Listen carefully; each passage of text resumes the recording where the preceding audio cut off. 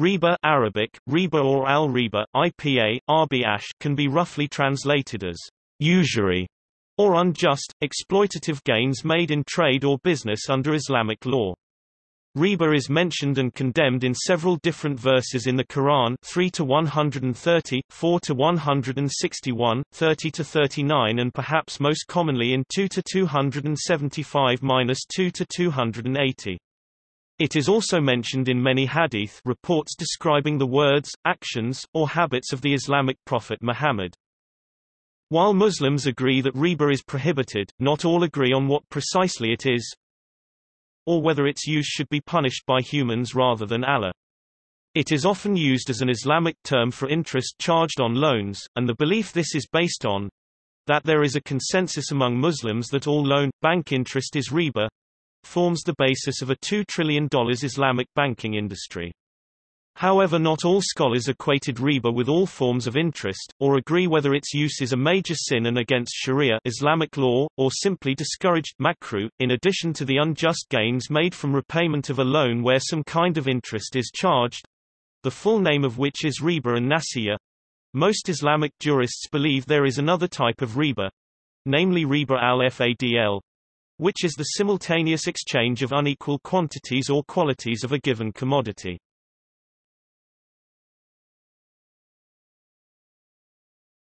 Topic: Etymology and definitions.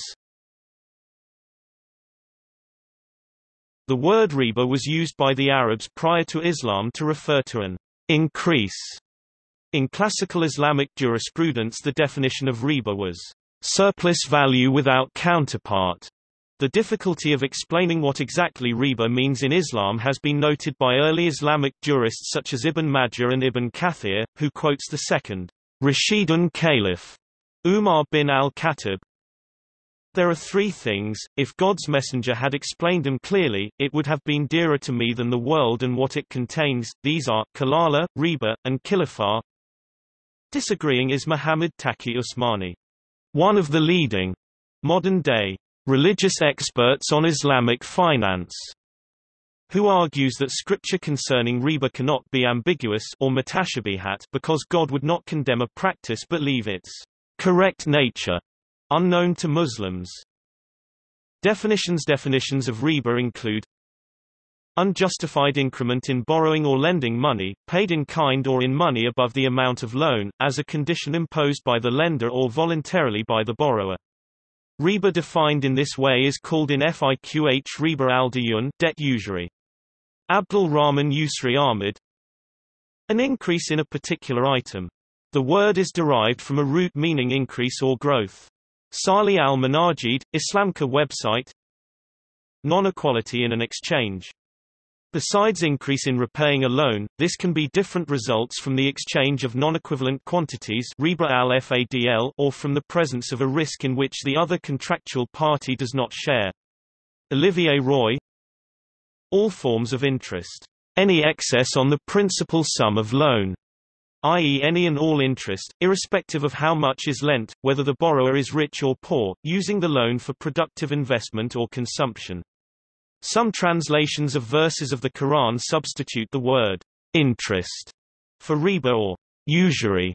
The orthodox or conservative view of classical jurists and revivalists, such as Abul Ala Maududi, as described by Encyclopedia of Islam and the Muslim World and other sources, at least a few sources John Esposito, Cyril Glassé, Ludwig W. Adamec emphasize a dichotomy in what riba means or prohibits, classical scholars interpreting its meaning broadly and strictly, and others using a narrower, more easily evaded definition in practice, or at least in modern practice. Interest Historically Islamic legal scholars have interpreted the Quran as prohibiting any loan contract that specifies a fixed return to the lender, on the grounds that it provides unearned profit to the lender and imposes an unfair obligation on the borrower. Quote, in the modern era Islamists and revivalists preach that all interest is socially unjust and should be banned. John Esposito The above definition has been observed in few Muslim-majority countries, which instead define riba as excessive interest, compound interest John Esposito, or exclude from the category of riba interest like charges with euphemisms such as commission Cyril Glassé, and or charges using legal subterfuges known as hiyal where, for example, a money lender buys something and later sell it back for a greater amount Ludwig Adamec, an orthodox, revivalist Muhammad Taqi Usmani gives definitions for riba al-Quran a contract of loan or debt for any additional amount over the principal. And for the three varieties of riba al-Sunnah an exchange of money of the same denomination where the quantity exchanged is not equal, whether it is in a spot transaction or with deferred payment. A barter exchange between two weighable or measurable commodities of the same kind, where either the quantity exchanged is not equal, or delivery of one side is deferred. Riba al-Fadl. A barter exchange between two different weighable or measurable commodities where the delivery of one side is deferred. Alternatives to the strict definition of classical scholars and revivalists have been put forward by Islamic modernists who emphasize the moral aspect of any prohibition, believing that what should be prohibited was the exploitation of the needy, rather than the interest on loans itself. Interest on some loans. Exploitive loans, but not others. Possible meanings of exploitive riba include, interest on loans for consumption not investment, since investment loans were allegedly not practiced in Meccan society and usually earn borrowers a return they can use to pay the interest charged. This idea was proposed in the 1930s by Syrian scholar Maruf al-Dawalibi. Interest on loans charging compound rather than simple interest, an interpretation proposed in the 1940s by Egyptian jurist al-Sanhuri. Charging exorbitant interest rates interest on loans to the poor and needy interest on loans made by the economically strong, rich to the economically poor and or vulnerable as opposed to interest paid by large banks to individual account holders interest on loans motivated by a desire to make risk-free return of principal along with some interest or additional return, and where no concern is given to whether the funds are invested to enhance the earning ability of the lender Muhammad Akram Khan. Varieties According to some hadith, the Islamic prophet Muhammad said there are either 70, 72, or 73 varieties depending on the ahadith of riba. The ahadith do not specify what those varieties are, most Islamic jurists fuqaha describe several different kinds of riba. Riba and jahiliya, usury practiced in pre-Islamic Arabia referred to in Quran 3 to 130. Scholars differ on its definition. According to Rakib Zaman and M.O. Farouk, a riba and jahiliya debt was doubled and redoubled each year if the borrower could not pay what was owed. Another similar definition described by Taqi Usmani, is that riba and jahiliya was a kind of loan where the borrower was not charged any additional amount above the principal unless they could not repay when the loan was due, in which case they were charged an additional amount but not necessarily double or triple the principal. Usmani believes both of these definitions are incorrect, and that in reality a number of transactions where an increased amount was charged on the principal amount of a debt were in vogue at this time and can be considered riba and jahiliya. Other Orthodox scholars agree and state riba and jahiliya, riba and nasiya, riba al-dayun, riba al-Quran, riba al-Kar are all names for one of the two types of riba. The second type being riba al-Fadl, riba and nasiya, the excess accruing from a loan transaction. Riba and nasiya is riba on a credit transaction, when two quantities of items are exchanged, but one or both parties delays delivery or payment and pays interest, i.e. excess monetary compensation in the form of a predetermined percentage amount or percentage. Taqi Usmani quotes Fakhruddin al-Razi as saying, Riba and nasiya, it was a transaction well known and recognized in the days of Jahiliyyah. Riba al-Fadl, also Riba al-Sunnah, excess accruing in a sale or barter transaction, i.e. Riba involving the simultaneous exchange not involving any deferred, delayed payment of unequal quantities or qualities of a given commodity. Riba al-Fadl and prohibition of it according to Usmani, was developed by Muhammad hence the name Riba al-Sunnah, and so was not part of pre-Islamic Jahiliyyah. Still another source, the Takaful Basic Exam Preparation of Islamic Banking and Finance Institute Malaysia and Aznan Hassan, describes two types of riba each with two subsets. Its definition of riba nasi backquote r seems different from others.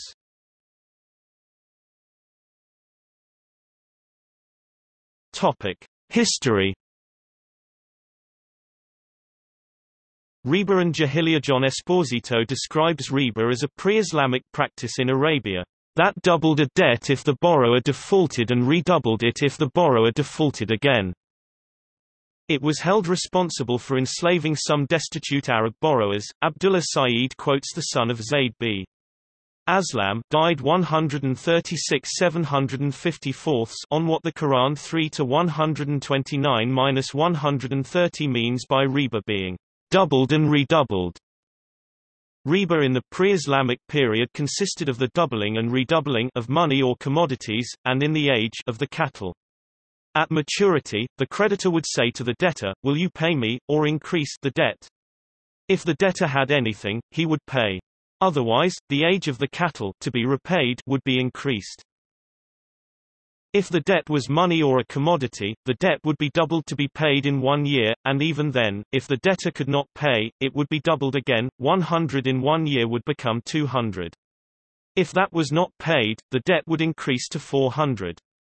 Each year the debt would be doubled. Orthodox Islamic scholar and Islamic banking advocate Taqi Usmani disagrees. In describing riba in the days of Jahiliyyah, he makes no mention of debts being doubled, but states that riba had different forms, and that the common feature of all these transactions is that an increased amount was charged on the principal amount of a debt. Rib according to orthodox sources Yusuf Fofana, Taqi Usmani.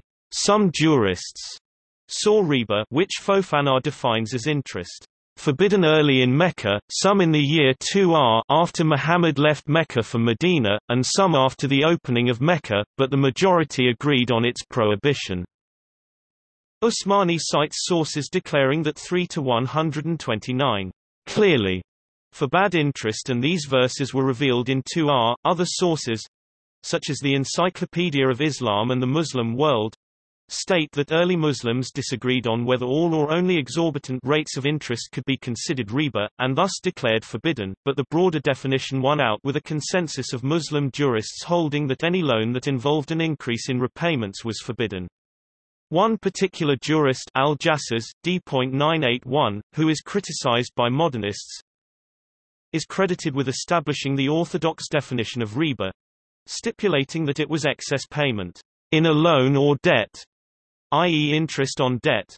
M. A. Khan argues that attempts to ban interest resulted in either the development of black markets and higher prices for interest-bearing credit, which defeat ed the very purpose for which interest was banned, or in various subterfuges to camouflage interest so as to bypass the legal sanctions. Some scholar Timur Kuran attribute the basis of religious condemnation of interest on loans to the widespread practice in the ancient world of selling loan defaulters into slavery and shipping them to foreign lands. Faisal Khan argues that all pre-modern, and not just Muslim societies, banned interest on loans, using a ban as a simple and effective risk mitigation mechanism for small borrowers that cannot afford the downside risk inherent in financial transactions. Among other monotheist Abrahamic religions, Christian theologians condemned interest as an instrument of avarice. The Jewish Torah prohibited lending at interest to fellow Jews but allowed it to non-Jews i.e. Gentiles doi. 2320. Historically many Jews were led to money lending with interest as a profession because of this exemption and because they were barred from many professions in Christian territories. With modernity and economic development, higher incomes and more complex mechanisms such as insurance eliminated the need for the ban. This, rather than religious backsliding, explains the lack of interest in the ban among the contemporary Christian and Jewish counterparts of the Islamic ulema according to Faisal Khan. According to two other sources, International Business Publications and Egyptian Grand Mufti Ali Gomaa riba is restricted to exchanges involving currencies of gold and silver, and so does not apply to loans of paper currency. Thus, when currencies of base metal were first introduced in the Islamic world, Islamic jurists did not forbid interest charges on them as riba. Historically, while the Islamic states followed classical jurisprudence in prohibiting an increase in repayments on loans interest in theory, in practice the giving and taking of interest continued in Muslim society. At times through the use of legal ruses hiyal, often more or less openly. One common Ottoman-era stratagem to circumvent of the ban on interest, according to Timur Kuran, was known as istiglal and involved the borrower selling his house to a lender and immediately leasing it back. The proceeds of the sale served as the sum loaned, the lease, rent, mortgage payment served as principal and interest repayment of the loan. According to Kuran, only transactions that satisfied the letter of the ban on interest through stratagems hiyal were allowed. In addition, in the 16th century, an Ottoman sultan limited the annual rate of interest to 11.5% throughout the empire on these loans. This order was duly ratified by a legal opinion fetva Another source Faisal Khan quotes several sources indicating the Ottoman Empire forbid as riba-only interest rates above a certain level about 10 to 20%. According to Minna Rosen the business of money lending was completely in the hands of Jewish sarafs in the Ottoman Empire. Europeans who visited Ottoman Empire stated that Ottoman economy would not function without these sarafs, though they sometimes were accused of cheating. In Persia, money lending was also dominated by Jewish sarafs.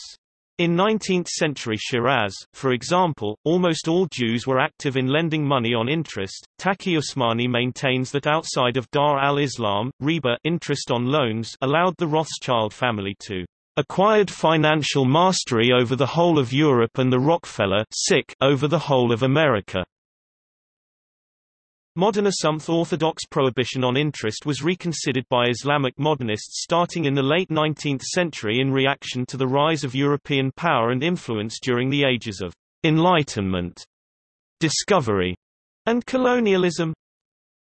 According to author Gilles Kepel, for many years in the 20th century, the fact that interest rates and insurance were among the preconditions for productive investment in a functioning modern economy led many Islamic jurists to strive to find ways of justifying the use of interest without appearing to bend the rules laid down in the Quran. In the largest Arab Muslim country, Egypt, modernist Grand Mufti Muhammad Abduh declared collecting interest on bank deposits and loans permissible in 1900.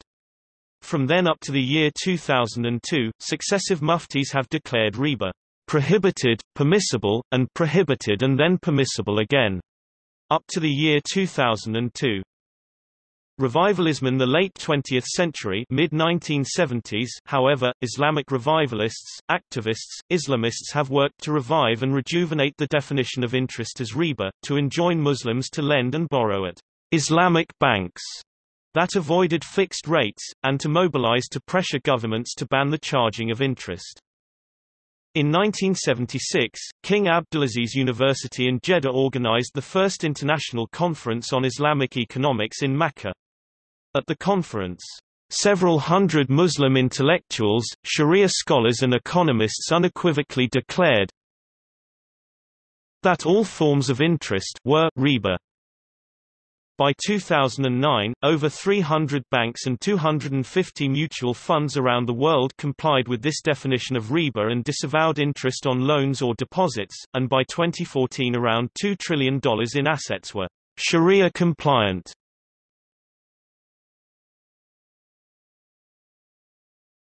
Topic: Scripture on riba. Both the Quran and the Hadith of Muhammad mention riba.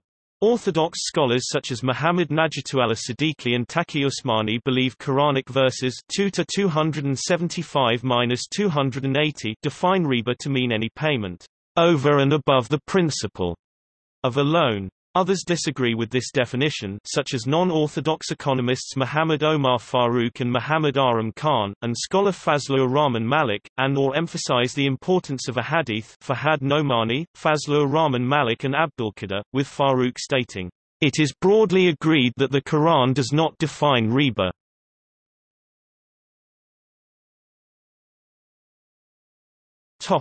Quran and prohibition. Twelve verses in the Quran deal with riba although not all of them mention the word. The word usually translated as usury appearing eight times in total three times in 2 to 275, and once each in verses 2 to 276, 2 to 278, 3 to 130, 4 to 161 and 30 to 39. The Meccan verse in Surah Ar-Rum was the first to be revealed on the topic, and what you give in usury riba, that it may increase upon the people's wealth, increases not with God. Quran 30-39 Other Medinan verses are for the taking usury riba, that they were prohibited. Surah and Nisaa Quran 4 to 161 O believers devour not usury riba doubled and redoubled and fear you God haply so you will prosper Surah Al Imran Quran 3 to 129-130 culminating with the verses in Surah Baqarah those who devour usury riba shall not rise again except as he rises, whom Satan of the touch prostrates, that is because they say, trade is like usury riba, God has permitted trade, and forbidden usury riba. Whosoever receives an admonition from his Lord and gives over, he shall have his past gains, and his affair is committed to God, but whosoever reverts, those are the inhabitants of the fire, therein dwelling forever. God blots out usury, but freewill offerings he augments with interest. God loves not any guilty ingrate. Those who believe and do deeds of righteousness, and perform the prayer, and pay the alms, their wage awaits them with their Lord, and no fear shall be on them, neither shall they sorrow. O believers, fear you God, and give up the usury riba that is outstanding, if you are believers. But if you do not, then take notice that God shall war with you, and his messenger, yet if you repent, you shall have your principal, unwronging and unwronged. And if any man should be in difficulties, let him have respite till things are easier, but that you should give freewill offerings is better for you, did you but know. Quran 2 to 275-280 Interpretations According to Yusuf Fofana and Taqi Usmani, jurists do not consider the verses 30 to 39 and 4 to 161 to clearly prohibit Muslims from riba, whereas the latter two 3 to 129-130 and 2 to 275-280 do. Another Orthodox scholar, M. N. Siddiqui, also believes 2 to 275-80 establishes that riba is what is over and above the principle, and that it is unjust. According to Fofana, historically, most jurists agreed on the prohibition of riba from these verses and termed it riba al-nasha, distinguishing it from riba al-fadl, the exchange of like goods in different quantities at the same time, mentioned in a number of narrations. Verse 30 to 39 provides insufficient indication to prohibit riba, according to Fofana, because sources disagree on what it refers to. Muhammad ibn Jarir al-Tabari quotes a number of tabi'in Muslims who were born after Muhammad died but who were old enough to be contemporaries of the Sahaba companions, who state that Quran 30-39 refers to a gift, whereas al-Jawzi quotes Hassan al-Basri as stating it refers to riba. Verse 4 to 161 refers to the Jews and their taking of riba, but it is unclear if the prohibition applies to the Muslims according to Usmani and Fofana. However 3 to 129-130 is seen by many, including Taqi Usmani and Ibn Hajar al-Asqalani a medieval Shafi'ite Sunni scholar of Islam, as prohibiting riba. Fofana however, thinks the verse itself could be interpreted as expressing a preference against interest. So interpreting the verse as prohibiting riba may require support from some hadith relating to Amr ibn Akhiash. Muhammad Nejatullah Siddiqui, interprets Quranic verses 2 to 275-2 to 280, known as Ayat al-Riba, to mean that riba is not only categorically prohibited and unjust, Zulm, but is defined as any payment over and above the principal of a loan. Yusuf Fofana and Taqi Usmani and other orthodox sources agree. Questions and Replies on the other hand, some believe the riba verses 2 to 275 minus 280 to be ayat al-mujmalat ambiguous verses. These include the second caliph Umar, according to al-Shafi'i jurist Fakhr al-Din al-Razi, and a number of classical jurists, including Ibn Rushd see below. Other classical Islamic jurists considered the term riba speculative general, rather than a specific kas, or absolute or unqualified mutlak. They restricted the application of riba to the clarification by the tradition a hadith According to Fahad Nomani, in studying scholarly commentaries, one notes that the technical, and even to some extent the customary meaning of riba as a practice in pre-Islamic era, is a matter of controversy among classical jurists and the interpreters of the Quran. Other classical jurists, like al-Baji and al-Tawafi, to name only two, believed riba was amma, a general term, meaning it is definitive or free of speculative content. According to Fahad Nomani, Umar, also declared that Muhammad died before he could explain the verse of riba among 2 to 275-280 fully, it being the last revealed verse of the Quran according to a hadith reported by Ibn Majah.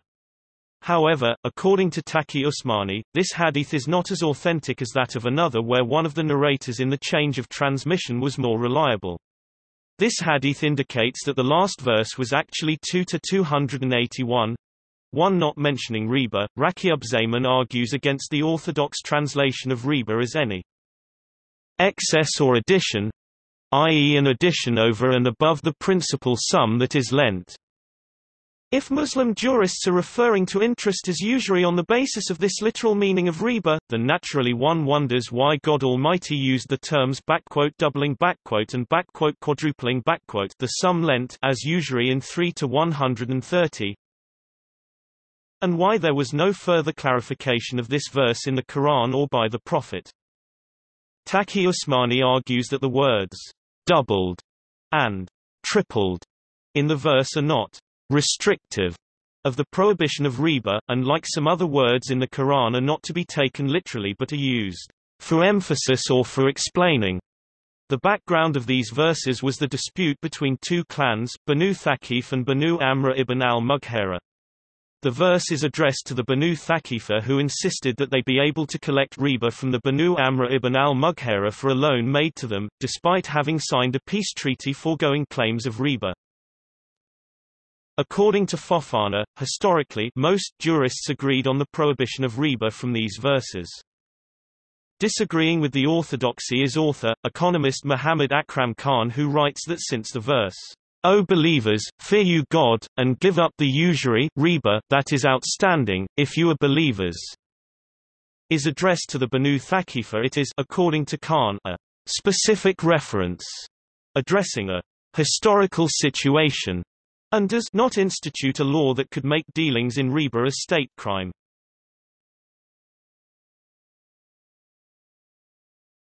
Topic: Quran and credit sales and late payment. While Orthodox scholars believe the Quran declares interest or any increased repayment of a loan to be forbidden riba, Orthodox scholars including Taqi Usmani, and Monzer Kahf believe it specifically allows giving credit in a sale and increasing the price for this deferred payment in some circumstances for example charging 21,000 rupees for 90 days credit for an appliance that would cost 20,000 rupees in cash on the spot. According to Taqi Usmani, in Quran Ayah 2-275, they say, trade is like usury, but God has permitted trade, and forbidden usury. The reference to permitting trade refers to credit sales such as murabaha, the forbidden usury refers to late fees charging extra when the repayment is late, and the they refers to non-Muslims who didn't understand why if one was allowed both were not. Usmani writes, The objection of the infidels was that when they increase the price at the initial stage of sale, it has not been held as prohibited but when the purchaser fails to pay on the due date, and they claim an additional amount for giving him more time, it is termed as riba and haram. The Holy Quran answered this objection by saying, Allah has allowed sale and forbidden riba. Usmani interprets the verse to mean that it is a misconception to believe that Whenever price is increased, taking the time of payment into consideration, the transaction comes within the definition of interest. And thus riba, charging extra for deferred payment in a credit sale such as murabaha is not riba, but late charges are. Regarding hadith, M.O. Farouk states, it is well known and supported by many hadiths that the Prophet had entered into credit purchase transactions and also that he paid more than the original amount. While Usmani envisioned murabaha being a limited part of the Islamic banking industry, it has come to dominate it, often as a hiyal to lend cash. There is also general agreement in Islamic finance that finding a solution to delinquent murabaha accounts continues to be a challenge.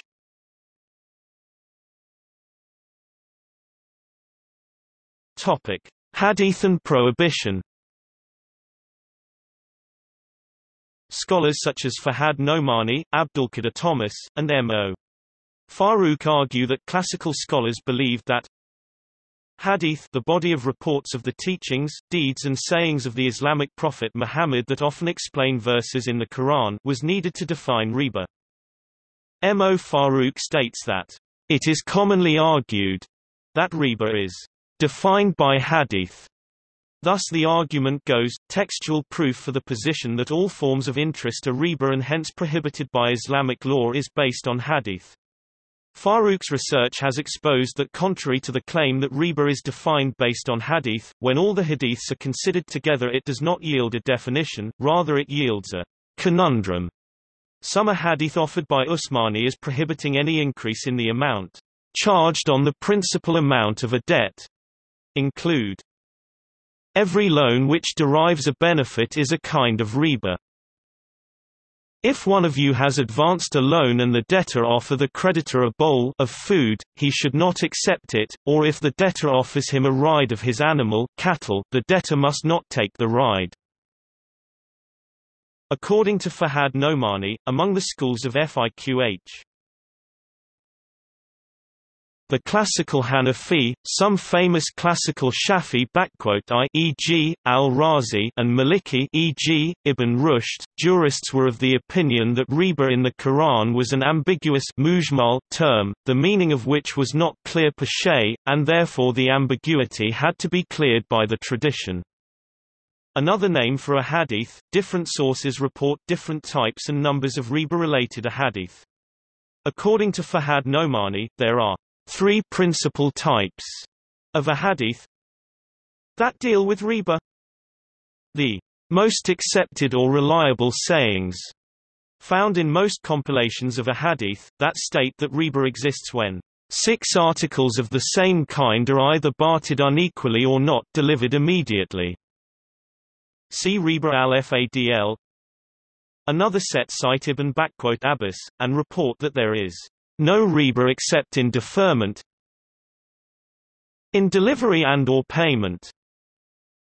A third set quote Muhammad's sermon on the occasion of the last pilgrimage, where he is reported to have said, God has forbidden you to take riba, therefore all riba obligations shall henceforth be waived. Your capital, however, is yours to keep. You will neither inflict nor suffer inequity. God has judged that there shall be no riba and that all the riba due to Abbas ibn Abd al-Muttalib shall henceforth be waived.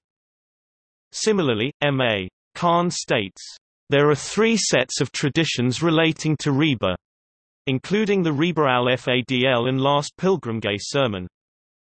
Another source, Abdulkader Thomas, states that, there are six authenticated ahadith that allow us to define riba and under riba in Hadith. Shariq Nisar of Global Islamic Finance, lists seven general a hadith and another six on riba al-Nasir. Several narrators including Jabir, Abdul Rahman ibn Abdullah ibn Masud, say that Muhammad cursed the acceptor of usury and its payer, and one who records it, and the two witnesses, saying, they are all equal. Questions on the other hand, the ambiguity and lack of clarity of what constitutes riba is reported to be indicated by Caliph Umar, who included it among the three concepts that, it would have been dearer to me than the world, had Muhammad explained them clearly. See above, and 20th-century Islamic scholar, Fazlur Rahman Malik, who sums up his analysis of the ahadith on riba saying, in short, no attempt to define riba in the light of hadith has been so far successful. According to Fahad Nomani, it is known that Ibn Abbas, a companion of Muhammad, was of the opinion that the only forbidden riba was the pre-Islamic riba. Nomani state that classical jurists all agreed that the meaning of riba was not free of speculative content, because there was a difference between the linguistic and customary meaning of riba in the pre-Islamic period on the one hand, and on the other hand, the specification by the tradition the hadith and the ambiguity of the opinions of the close companions of the Prophet on the problem of the meaning of riba. According to Abdullah Saeed, quoting Rashid Ridanone of the authentic hadith attributed to the Prophet in relation to riba appears to mention the terms, loan, qard or debt dain. This absence of any reference to loans or debts in riba-related hadith led a minority of jurists to contend that what is actually prohibited as riba is certain forms of sales, which are referred to in the hadith literature. According to another scholar, the Mufti of Egypt, Dr. Muhammad Saeed Tantawi, there is nothing in the Quran or Hadith that prohibits the prefixing of the rate of return, as long as it occurs with the mutual consent of the parties. Arguments on scriptural support for prohibition arguing that Quran and Hadith do not provide clear evidence that interest on loans is riba. Farouk notes that a number of early jurists held positions that are at variance with blanketly equating riba with interest. Some note the wording of Ayah 3 to 130. Imam Ahmad ibn Hanbal 780 to 855 CE believed only riba and jahiliya where the amount owed doubled and redoubled each year if not paid off was unlawful without doubt from the Islamic viewpoint. According to Nabil A. Saleh, several companions Sahaba of Muhammad Osama ibn Zayd, Abdullah ibn Masud, Urwa ibn Zubair, Zayd ibn Arqam, including Ibn Abbas, one of the major companions of the Prophet and earliest of the Islamic jurists, also considered that the only unlawful riba is riba al-jahiliya. Classical jurists and most Muslims believe riba to be a general term with a broad definition of all interest, while Fazlur Rahman defined riba as exorbitant increment whereby the capital sum is doubled several-fold, against a fixed extension of the term of payment of the debt. Farouk also questions traditionalist and activist orthodoxy, insisting the ahadith commonly cited as defining riba as interest are not unambiguous, as they must be when used as the basis for laws with impact on people's life, honor and property such as a ban on all interest as, Farouk gives examples quoting a couple of a hadith stating there is no riba in hand-to-hand -hand spot transactions or except in nasiya waiting that seem to contradict the orthodox position that there is also riba in riba al-fadl, i.e. the hand-to-hand -hand exchange of unequal amounts of the same commodity. Farouk notes a hadith where two Sahaba companions of Muhammad argue, one, Ubadah b. Al-Samit, stating Muhammad forbade riba al-Fadl, while another Sahaba, Muawiyah, contradicts him, saying he never heard Muhammad forbid such trade, though we saw him the Prophet and lived in his company. The except in Nasiya hadith also seems to contradict the many a hadith describing Muhammad buying on credit and paying more after waiting than the original amount. The distinction sometimes made that it is not riba to make voluntary, gift extra payments that are not stipulated in the sale agreement, such as Muhammad gave to Jabir bin Abdullah by when he paid back a loan, or when he repaid the loan of a camel giving two back, or another time giving a better quality camel than the original. But these ahadith are contradicted by the hadith stating every loan that attracts a benefit, advantage is riba, as well as by hadith specifically forbidding accepting a gift when extending a loan. And all these are hadith addressing and warning the lender but saying nothing about or to the borrower, would appear to be at odds with the many a hadith who include comments such as, the receiver and the giver of extra payment are equally guilty. Importance of the ban replying to the non-orthodox, Taqi Usmani argues that scripture concerning riba cannot be ambiguous or mutashabihat because God cannot wage war against a practice, the correct nature of which is unknown by Muslims. Only those verses for which no practical issue depends on its knowledge may be ambiguous according to Usmani. Orthodox point to a number of ahadith indicating the gravity of the sin of committing riba. Abu Huraira is reported to have narrated, The Prophet said, Avoid the seven great destructive sins. The people inquire, O God's apostle, what are they? Quote, he said, to associate others in worship along with God, to practice sorcery, to kill the life which God has forbidden except for a just cause, according to Islamic law, to eat up riba usury, to eat up an orphan's wealth, to give back to the enemy to flee from the battlefield at the time of fighting, and to accuse chaste women who never even think of anything touching chastity and are good believers. According to Sunan ibn Majah, the Islamic prophet Muhammad declared the practice of riba worse than a man committing zina fornication with his own mother. In that hadith, he said that there are 70 sins of riba. Of these, the minimum sin is to commit adultery with oneself's mother, and the greatest riba is dishonoring any Muslim. In another hadith, Muhammad said that, knowingly consuming one dirham of riba is equivalent to do adultery 36 times.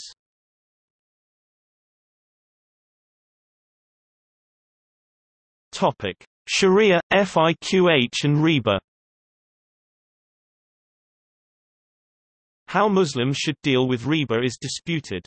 Some believe riba is a violation of Sharia Islamic law, to be prohibited by the state and violators punished. Others believe it is simply a sin to be left to God to judge and punish. Orthodox jurists tend to be less strict on its prohibition for Muslims in non-Muslims lands, and strictness tends to vary throughout the Muslim world with Sudan being the most severe and Malaysia the least. At least one scholar Abdulkader Thomas has stated that not only is interest in violation of Sharia, but is such a menace that failure to combat it indicates unbelief in Islam, potentially punishable by death. According to Thomas, riba is part of a broader problem of belief and behavior. Refusing to combat riba is akin to disbelief. Conceding the argument that money has an intrinsic value is potentially a greater act of disbelief. Author, economist Muhammad Akram Khan has noted that contemporary Orthodox scholars have argued that interest is a violation of Sharia law primarily on the basis of two sources. The farewell sermon mentioned above where the Prophet abolished all claims of riba on loans, God has decreed that there will be no usury, and the usury of Abbas b. Abd al-Muttalib is abolished, all of it. And the fact that the Banu Thaqif clan was threatened with war by Muhammad for abrogation of their treaty with the early Muslims if they tried to collect interest on loans from Muslims. Banu Thaqif are the ones who are warned against being at war with God and his messenger. In Quran 2 to 275-280, however, M.A. Khan argues the Prophet could easily have announced the broad features of such a law against riba. The fact is that neither the Prophet nor the Quran has announced any law relating to interest. As they had, in the case of theft, adultery or murder. Neither the Prophet nor the first four caliphs nor any subsequent Islamic government ever enacted any law against riba. Attempts to do so are quite recent. The Authentic Books of Islamic Jurisprudence FIQH, produced throughout Islamic history, had sections dealing with riba, discussing its nature and what makes a transaction lawful or unlawful. But according to M. A. Khan, until recently none contained any public law for enforcement through state machinery. The treasure of Islamic jurisprudence which has covered all facets of life, including imaginary situations, does not mention any punishment for one who indulges in riba. In 1999 a work did The blueprint of Islamic financial system including strategy for elimination of riba by the International Institute of Islamic Economics, called for riba-based transactions to be punishable by law. Another non-Muslim scholar Olivier Roy points out Ayatollah Ruhollah Khomeini's book of Fatawa Tawzih al-Masail, written before 1962, as an example of a more traditionalist attitude toward riba, or at least the charging of interest on loans. Rather than calling for a ban on interest, Khomeini states that lending without charging interest is among the good works mustahab, that are particularly recommended in the verses of the Quran and in the Hadiths.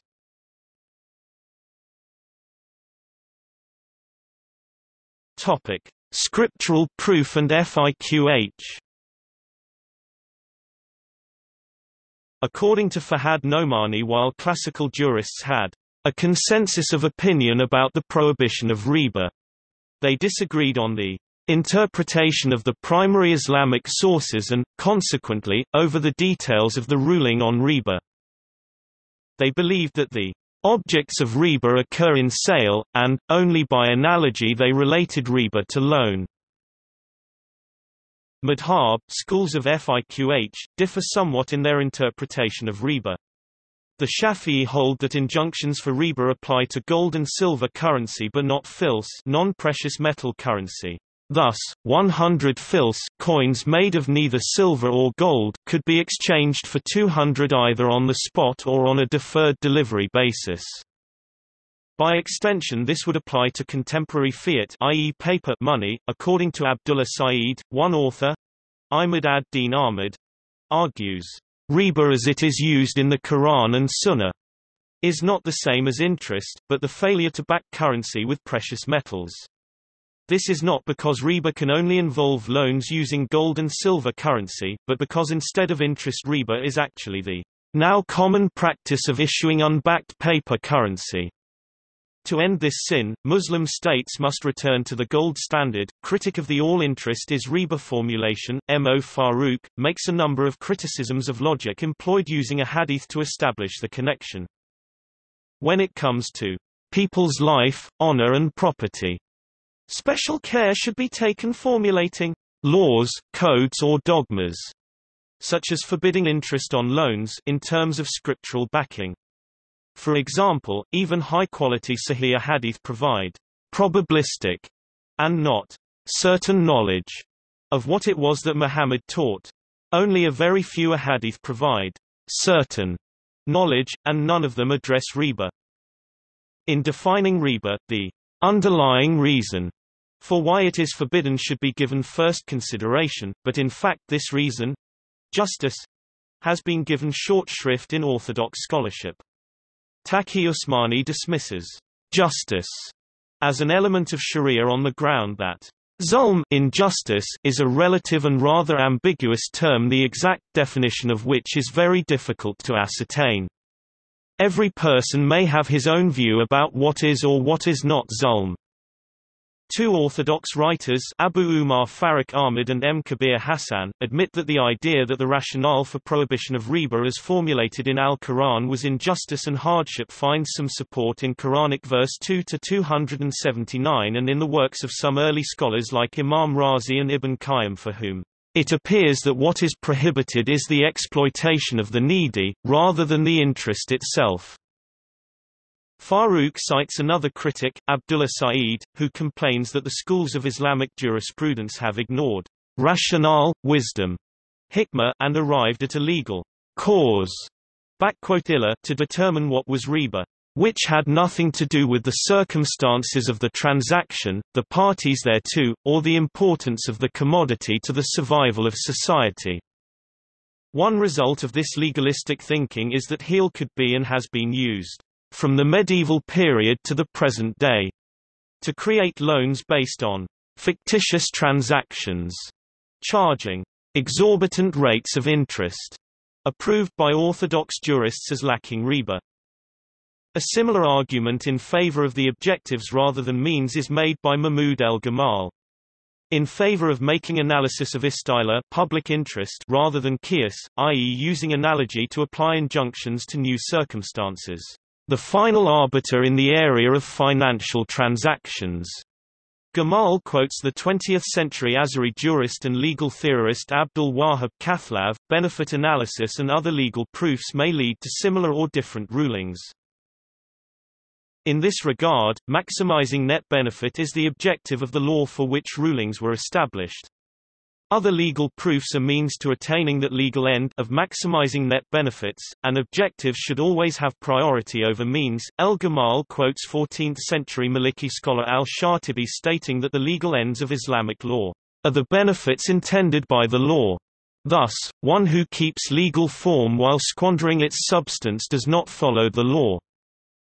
El Gamal also finds it curious that classical jurists consider URF or adherence to convention or customary practice an important legal consideration.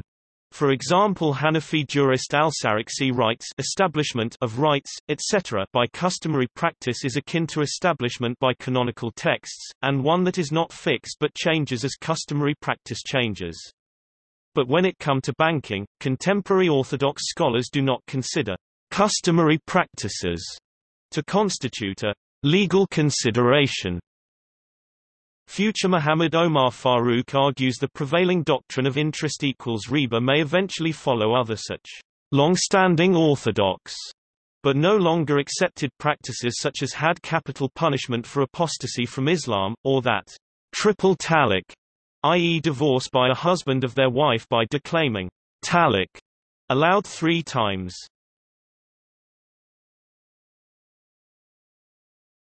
Topic: Issues in interest as riba an-nasiya.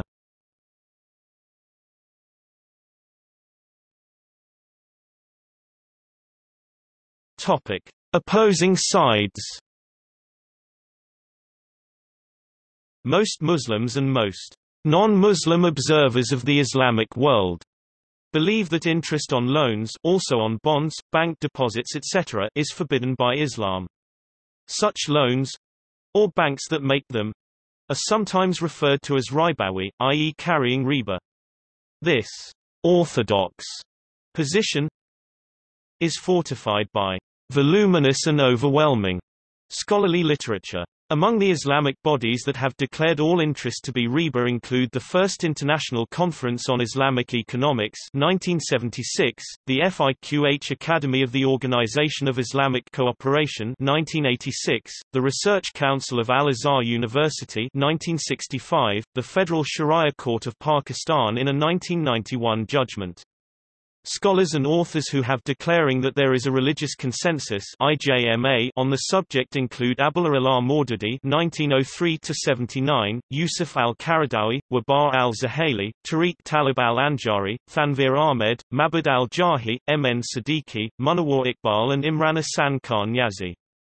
In the discipline of Islamic economics, a prohibition of interest on loans in the name of prohibiting riba has been called that field's most salient objective. Its importance among Islamists, revivalist Muslims is reflected in the size of the Islamic financial industry built on the basis of the orthodox position approximately $2 trillion as of 2017, and in expressions such as the uproar that temporarily shut down the Pakistan parliament in 2004 when a member of parliament MP had the temerity to quote an Egyptian Islamic scholar decreeing that bank interest was not un-Islamic. In response, after the parliament was reopened, an Islamist MP stated that no member of parliament had the right to question this settled issue, since the Pakistan State Council of Islamic Ideology had decreed that interest in all its forms was haram in an Islamic society. Among some such as Imran Nazar Hussain interest on loans constitutes not just a sin or crime but the grand design of hostile forces who have already made considerable progress, through riba, in gaining control over mankind. Their aim is to gain total control and to use that power to destroy faith in Allah.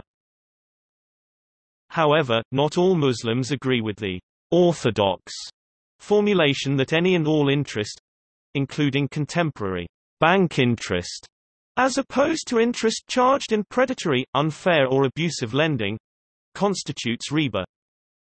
Skepticism of the interest equals riba formulation forming a so-called non-orthodox or non-equivalent school goes back to Ottoman Grand Mufti Abusud Efendi and includes 20th-century modernist jurists, such as Muhammad Abduh, Rashid Rida, Mahmud Shaltut, Syed Ahmad Khan, Fazl al-Rahman, Muhammad Saeed Tantawi.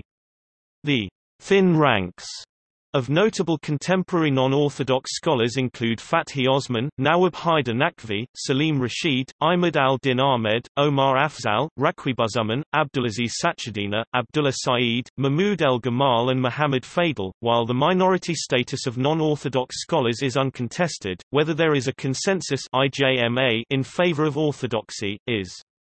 One non-Orthodox economist M.A. Khan argues that a true consensus requires the agreement of not only most Islamic scholars but the Muslim community as a whole. Since most Muslims have failed to choose interest-free Islamic banking for most of their assets, this demonstrates according to Khan that they do not agree that all interest is riba.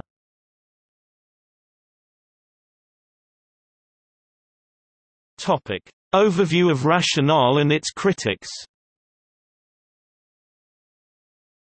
In answer to the question, why has God prohibited interest? A number of arguments have been advanced by Orthodox, Islamist, revivalist scholars, preachers, writers and economists. They include that in their view, Interest is a form of exploitation by the lender of the borrower and or by the rich of the poor, that brings more inequality in society. Interest should not exist because money is unproductive and charging a price for it is unfair.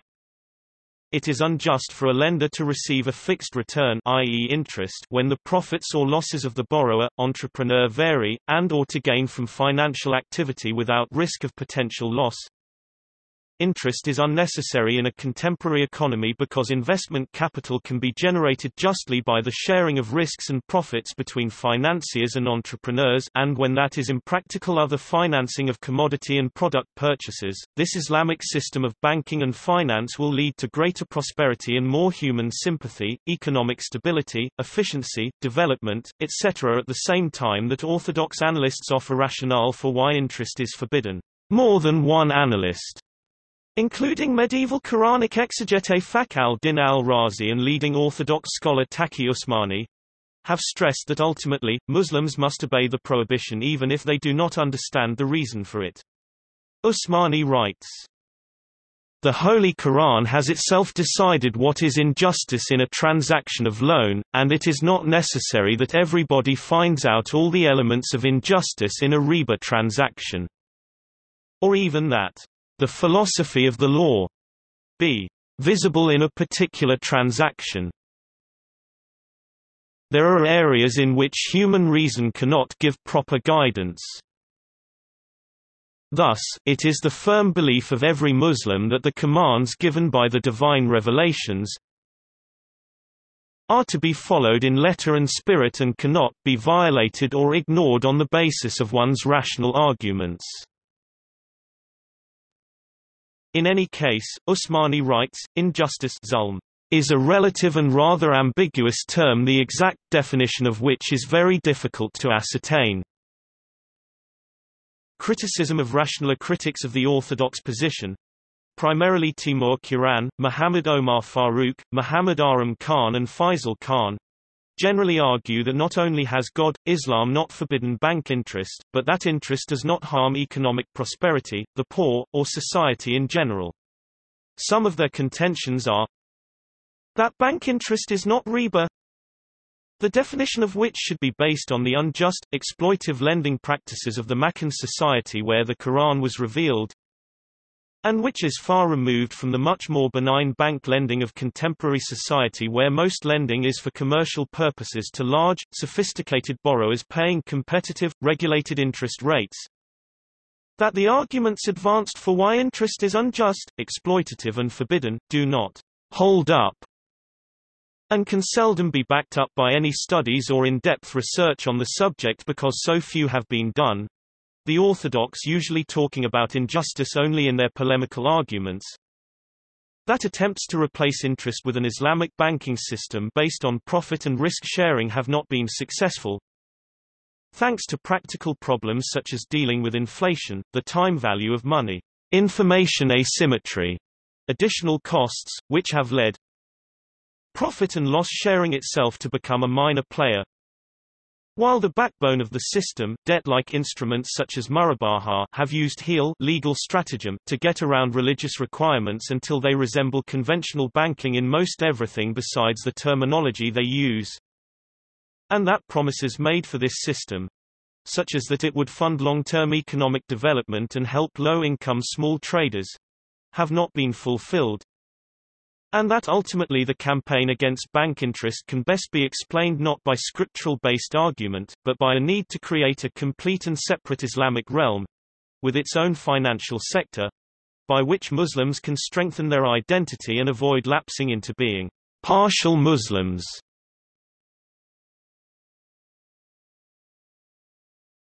Topic: Injustice of fixed return.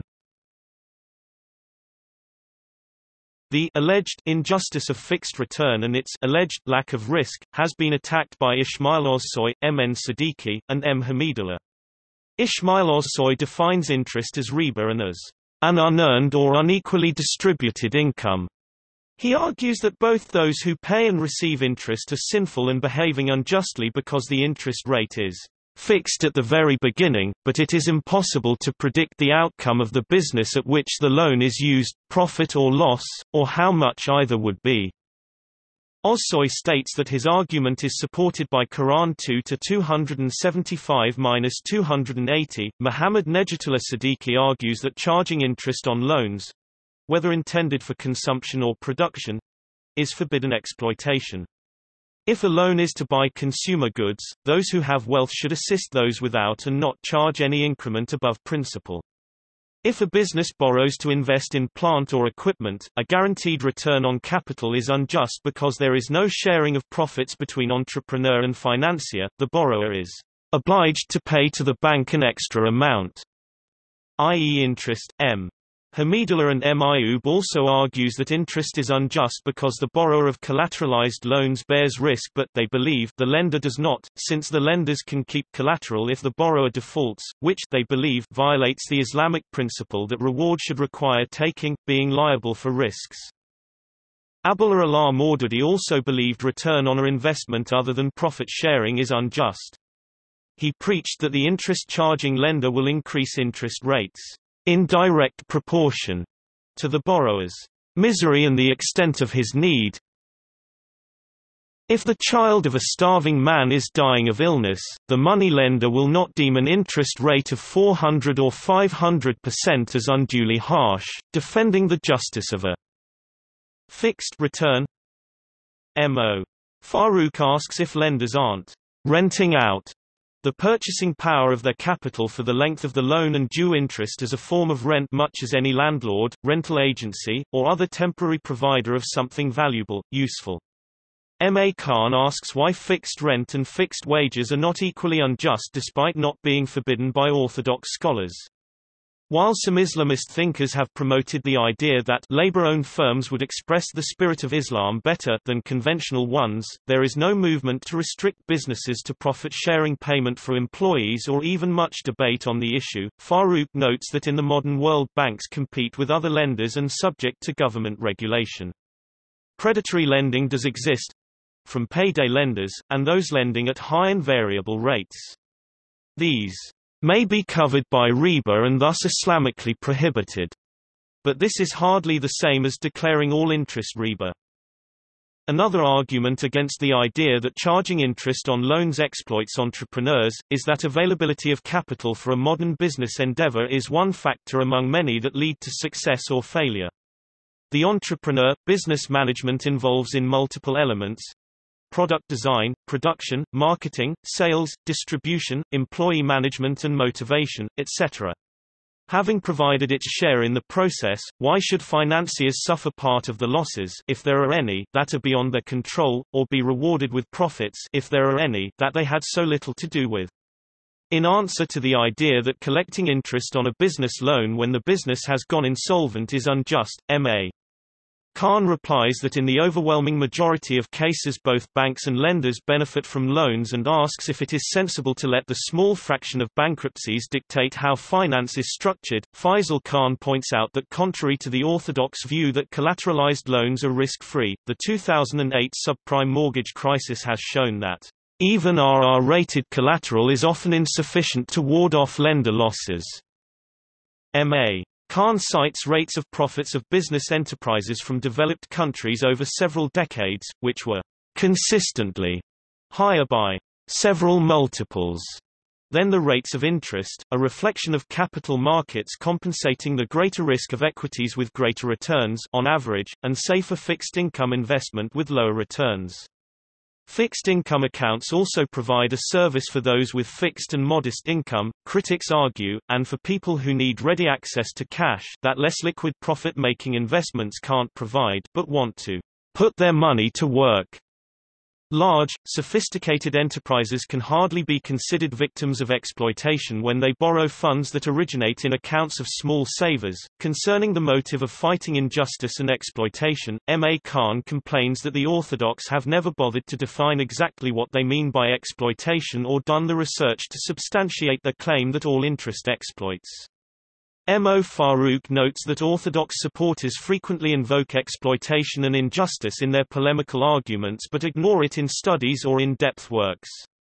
Farouk further argues that in the real world profit, in contrast with interest, is as much exploitative, if not more. In a separate work, he illuminates the importance of rent-seeking in the modern world that is more widespread and with far greater consequence than interest.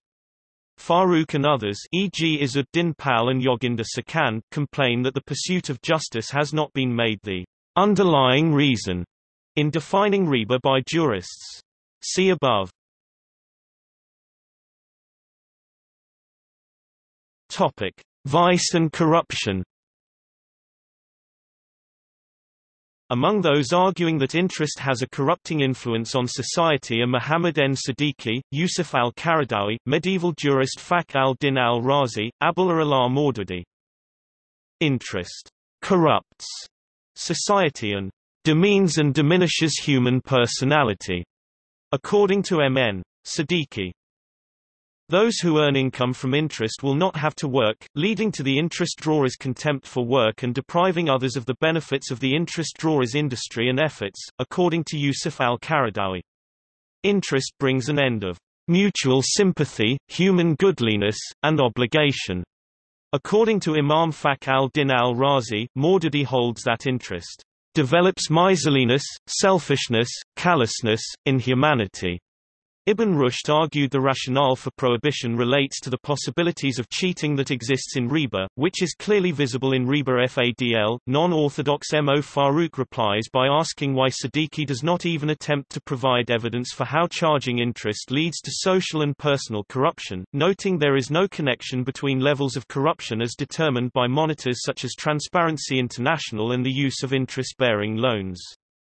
Farouk answers the charge that interest leads to sloth by stating that matching the savings of savers, depositors with the capital needs of borrowers is an economically useful and competitive function, and that in the present day many savers are retired elderly of modest means for whom it would be foolish to take risks with their life savings, and who pay for this caution with smaller returns. Another non-orthodox critic, Faisal Khan, argues that while complaints of lenders being wealthy and predatory may well have been valid in the 12th century of al-Razi, or among the North Indian peasantry that Maududi knew, who borrowed from the Bania Hindu merchants who sometimes serve as money lenders, it is hardly an accurate description of the effects of a modern conventional banking, financial system. Taqi Usmani, maintains that investors' savers' desire for fixed income investments, accounts is the result of an unnatural expectation of no risk of loss, brought about by the separation of finance from normal trade activities in capitalist banking normal trade activities of course resulting in losses from time to time. Once people understand this they will invest in Islamic finance.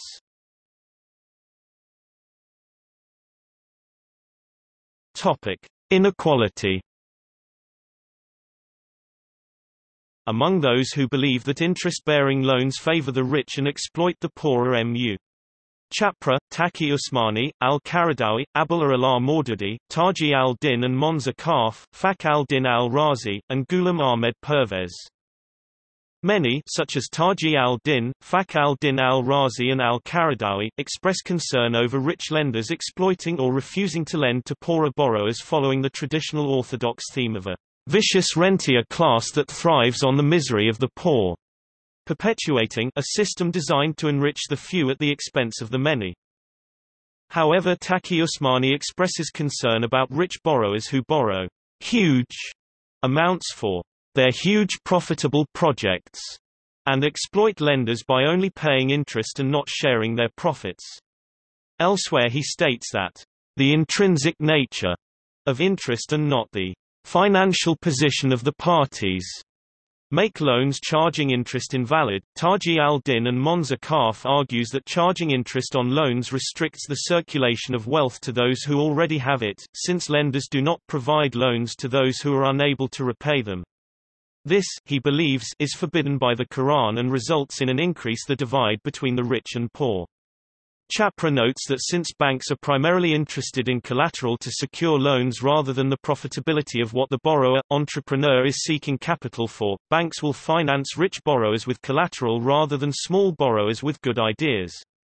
Abul A'la al-Maududi calls interest, the greatest instrument by which the capitalist tries to concentrate in his hands the economic resources of the community, proclaiming, there is hardly a country in the world in which money lenders and banks are not sucking the blood of poor laboring classes, farmers and low-income groups.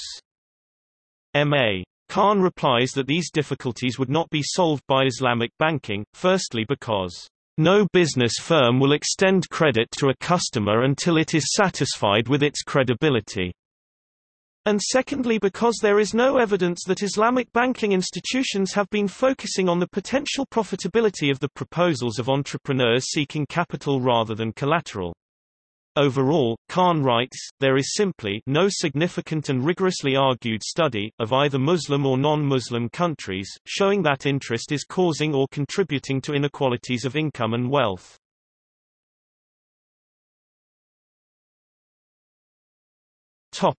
General economic harm Among the claims that interest plays a negative role in the economy include that it squeezes out productive investment, encourages speculation, creates credit bubbles, fuels inflation, instability, unemployment, depressions and imperialism. Umer Chapra writes that by providing easy access to credit for unproductive purposes, interest squeezes the availability of resources for need fulfillment, squelching job creation. Maududi states that productive investment is withheld when enterprise-seeking investment cannot yield a profit equal to the prevailing rate of interest. Muhammad Abdul Manan writes that eliminating interest would follow the cooperative norm of the Quran, and stimulate job creation and economic vitality. M. A. Khan replies that the harm created by interest cannot be that severe as interest-based finance is deeply entrenched in the developed countries of the OECD, where per capita income is quite high and the percentage of poor people relatively low. M. O. Farouk notes that the countries that have gone in an interest-free direction are hardly examples of greater economic stability. On the issue of over-indebtedness and instability, Chapra also argues that the interest-based system and its reliance on collateral leads to excessive levels of debt, which leads to economic instability. Islamic finance would mean greater financial discipline than debt-based financing because it is tied to real assets. This discipline would mean greater economic stability. Mirakhor and Krichene argue that interest charges on debts lead to the creation of a secondary market for debt. This leads to debt changing hands, multiple layers of it being created, and the generation of credit bubbles whose inevitable bursting destabilizes the economy. MT Usmani insists interest-based financing may fuel inflation, since it does not necessarily finance the creation of real assets. Its financing not tied to real assets, and may increase the supply of money without increasing products to match it. He cites a number of non-Muslim economists criticizing capitalist financial system for its propensity towards financial speculation, over-indebtedness, misallocation of lending capital. Although their solutions its problems do not include banning all interest on loans, another way in which interest is alleged to lend itself to speculation is the alleged practice of borrowing at low rates to lend at higher ones. This allegedly disrupts trade cycles and interferes with economic planning and would be remedied by banning interest charges. Chapra also argues that the erratic behavior of interest rates has caused three decades of turbulence in the financial markets, citing a Nobel laureate in economics, Milton Friedman. Islamist leader Abul A'la Maududi, who was not an economist but has been credited with laying down the foundations for development of Islamic economics, preaches that interest along with the lack of zakat tax on savings prevents economic progress and prosperity by rewarding savings and capital formation the common idea that these things help economic development being a deception when people are not in the habit of spending all the wealth they earn. They consume less, which decreases employment, which leads to still less consumption, creating a downward spiral leading finally to the destruction of the whole society as every learned economist knows. Entrepreneurial profit and wages should be the only source of income in society. Siddiqui and Ghanimé cite a hadith of income devolved on liability. In this context, in reply, M.A. Khan argues, that the effective elimination of interest on loans for an extended period in the world's third largest economy i.e. Japan, which lowered prime rates to 0.01% from about 2001 to 2006 in an attempt to stimulate its economy failed to bring that country economic stability or prosperity. That a secondary market for financial instruments which unties finance from real assets is a real, live need of finance, even if it may pose a risk of speculation. The alternative instruments of finance such as sukuk and other Islamic bonds would also require a secondary market. And in fact there have been efforts to create these markets for Islamic financial instruments, but the need to follow the ideology of contemporary Islamic finance means that the markets have ended up in a host of ruses, compromises and stratagems. While Khan admits that a banking system based on the two modes of 1 current account deposits backed by 100% reserve and 2 profit and loss sharing accounts, would doubtless be more stable than conventional banking, this has limited practical application limited to that small niche of Islamic banking that actually uses profit and loss sharing. In reply to Chapra's citing of Western economist Milton Friedman, M. O. Farouk notes that the monetarist economists such as Friedman blame interventionist monetary policy in general rather than interest charges for the instability, and when asked specifically about any economic danger from interest charges Friedman himself stated that the work Chapra quoted did not provide any support whatsoever for the zero-interest doctrine and that he Friedman did not believe there is any merit to the argument that an interest-free economy might contribute toward greater economic stability. I believe indeed it would have the opposite effect. Topic: Accumulation of Third World debt Usmani and other Orthodox believe that the burden of foreign debt incurred by developing countries including many Muslim countries from loans by developed countries and institutions like the IMF, is an illustration of the curse of interest. Usmani quotes a number of non-Muslim sources, stating that this debt service exceeds resource flows to developing countries and is still growing, has brought structural adjustment and austerity programs leading to massive unemployment, falling real incomes, pernicious inflation, increased imports, denial of basic needs, severe hardship and deindustrialization, etc., and can be compared to indentured labor where the worker is permanently indentured through his debt to the employer. Usmani suggests the problem might be remedied with Islamic modes of financing, and that assets-related loans could be converted into leasing arrangement S. M.A. Khan agrees that the debt burden has created considerable hardship, but should be blamed on mismanagement, fraud and corruption in the misuse of borrowed funds, rather than interest charges. If interest was to blame, Islamic financing would not be a solution, Khan argues, since it also involves costs termed profits or fees rather than interest to those in the developing world seeking capital.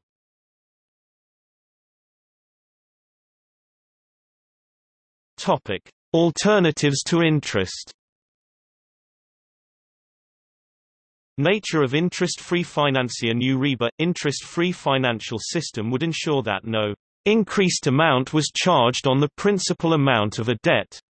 As Usmani preached, the Holy Prophet Muhammad has left no ambiguity in the fact that the creditors will be entitled to get back only the principal and will not be able to charge even a penny over and above the principal amount. Some of those promoting or writing about interest-free banking have posed zero-interest loans and saving accounts as an Islamic alternative to the interest-bearing loans, accounts of conventional banking. Muhammad Siddiqui reassured policy-makers that interest-free accounts paying no return to savers would not mean a significant reduction in savings because savings is mainly a function of the income of the savers rather than their expectation of any return. Maududi promised that zero-return loans would allow the flourishing production of what was socially useful but which generated only a small return. On the other side, skeptical economist Maha Hanan Balala questioned how creditors would ever extend interest-free loans considering the opportunity cost, erosion of value through inflation, risk of default by debtors. And Fazl al-Rahman argued that an interest rate serves as a price for financing, limiting demand for it by borrowers, so that finance markets are not faced with limited supply and infinite demand. However, according to Taqi Usmani, emphasis on zero return was misguided. People not conversant with the principles of Sharia and its economic philosophy sometimes believe that abolishing interest from the banks and financial institutions would make them charitable, rather than commercial, concerns which offer financial services without a return. Obviously, this is totally a wrong assumption. According to Sharia, interest-free loans are meant for cooperative and charitable activities, and not normally for commercial transactions. Another observer M.A. Khan has reported a consensus among Muslim economists that Islamic finance for commercial transactions would not be free, but would have some kind of cost other than interest. Charitable, interest, return-free loans are known as Qard al-Hasan in Islam, Growth of alternative Islamic banking industrious The Islamic revival blossomed in the last half of the 20th century, this new financial system began to be developed. By the late 20th century a number of Islamic banks formed to apply riba, interest-free principles to private or semi-private commercial institutions within the Muslim community. In the 1980s the Pakistan regime of General Muhammad Zia-ul-Haq condemned the curse of interest and promised to eliminate it. By 2014 around $2 trillion in banking assets were Sharia compliant, approximately 1% of total world banking assets. This industry was concentrated in the Gulf Cooperation Council GCC countries, Iran, and Malaysia. Modest Islamic banking replaced riba, interest with accounts paying zero return on deposits, current accounts, offered for safekeeping of depositor funds with no return added to the amount deposited in practice these deposits often include a hiba literally, gift, in the form of prizes, exemptions, etc., to compete with interest return of conventional banking current accounts. A return varying according to the success of the projects the bank financed, for commercial finance the primary mode in theory of Islamic finance, called profit and loss sharing, would replace interest with risk sharing between the investor, the banker and the entrepreneur of the project being financed, much like venture capital financing. One form of profit and loss sharing is mudaraba finance, where the bank would act as the capital partner in a back-to-back -back mudaraba contract with the depositor on one side and the entrepreneur on the other side. As the loan was repaid, the financier would collect some agreed upon percentage of the profits or deducts if there are losses along with the principal from the user of capital mudarib. Fixed return, like interest but differing in theory by limiting finance to a specific sale, murabaha credit sale was the principal form of this type of asset-backed or trading-based mode of financing also used a ijara, istisna, were some others and they were to supplement the profit and loss sharing models. As Islamic finance grew, it became clear murabaha was not a supplement to profit and loss sharing, but the mode used in about 80% of Islamic lending. Explanation for this include that the structure and results of murabaha were more familiar to bankers, and that profit and loss sharing turned out to be far more risky and costly than proponents had hoped. Murabaha and trade-based mode of finance. The similarity between credit sales and conventional non-Islamic ribawi Loans has been noted some calling murabaha a semantic work-around for interest charging loans, necessary because businesses cannot survive where cash and credit prices are equal, and urges that bank interest not be judged haram.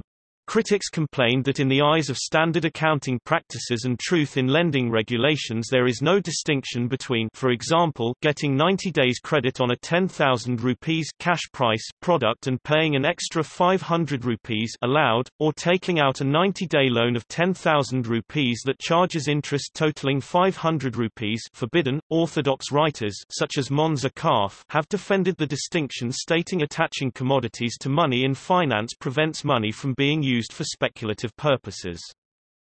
See, Quran and credit sales and late payment Usmani insists that the phrase, God has permitted trade from Quranic verse 2 to 275, refers to credit sales such as murabaha, so that, taking the time of payment into consideration, in paying more for a product, commodity, does not come within the ambit of interest, i.e. riba. Paying more for credit when buying a product does not violate Sharia law. The reasoning goes, because it is an exchange of commodities for money, while a bank loan is an exchange of money for money, and forbidden unless interest is zero. The buyer in a credit sale is paying not principal and interest, but cost and profit. Other Orthodox scholars AI. Qureshi, M.A. El Gamal, instead of giving a rationale, declare that the difference is knowable only to God, something humans must obey without understanding. The permissibility of the first trade and the prohibition of the second usury, interest are both quite clear and unequivocal. Why one is permitted while the other is forbidden can only be fully known by Allah and whomsoever he gave such knowledge. As a practical matter, we should know what is permitted and use it to our advantage, and what is forbidden and avoid it. Credit sales do not follow the Islamic ideal called for by pioneers of Islamic banking of doing away with the injustice and exploitation of unshared profits and losses in finance. Orthodox scholars have expressed a lack of enthusiasm for Murabaha credit sales-based Islamic banking. The Pakistan State Council of Islamic Ideology calls it no more than a second-best solution from the viewpoint of an ideal Islamic system. Usmani calls it a borderline transaction with very fine lines of distinction as compared to an interest-bearing loan. According to Usmani and orthodox Islamically proper murabaha and other credit sale financing are only to be used when profit and loss sharing is impractical. When the transaction finances the purchase of some product or commodity by the customer. When that product or commodity is bought and owned by the bank which takes the risk for it until the customer's payment is complete, and when there are no additional charges for late payment, criticism of interest-free finance and its practices shortcomings of Islamic banking has been used by at least one non-orthodox critic as an argument against equating interest with riba. According to M.O. Farouk, the increasing need of the Islamic banking industry to resort to hiyal legal stratagem to claim Sharia compliance is evidence that forbidding interest is not tenable from Islamic viewpoint.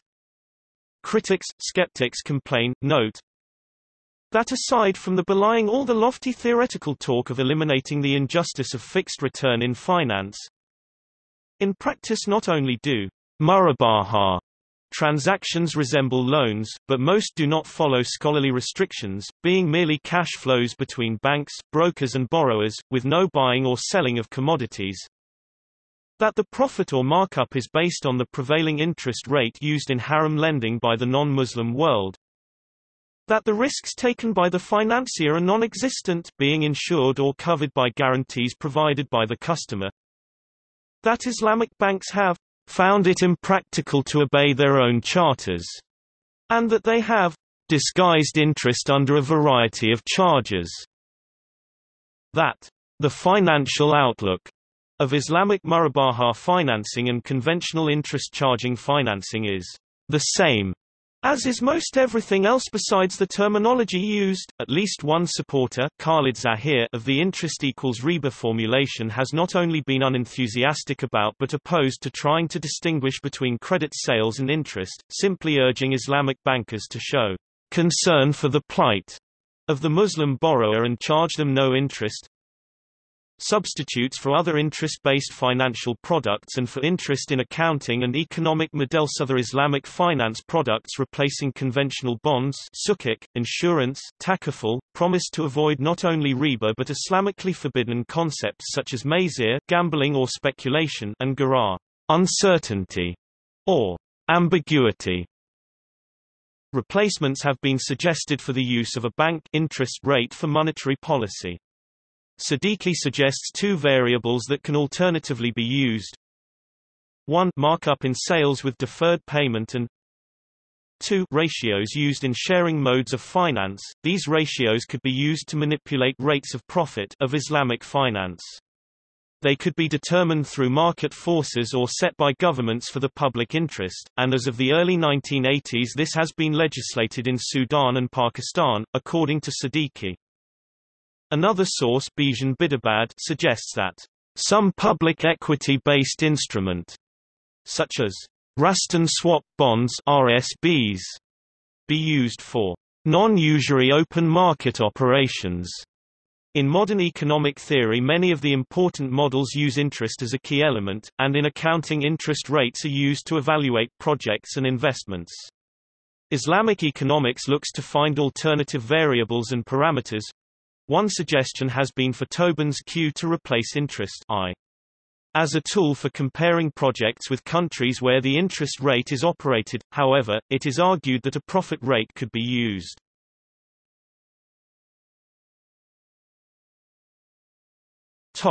Non-orthodox approach